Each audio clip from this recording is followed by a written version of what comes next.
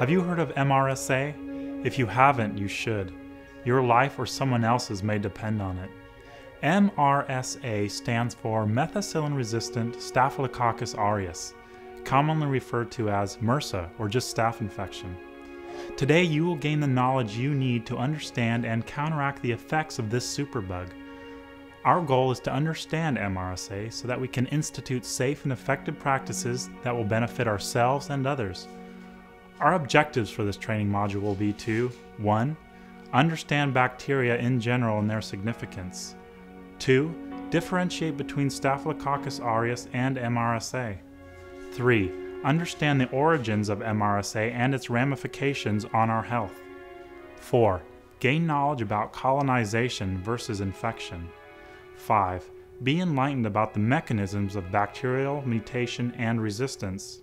6. How to identify, manage, and prevent MRSA infections. 7. Understand treatment options. 8. Know the importance of instituting safe and effective infection control practices.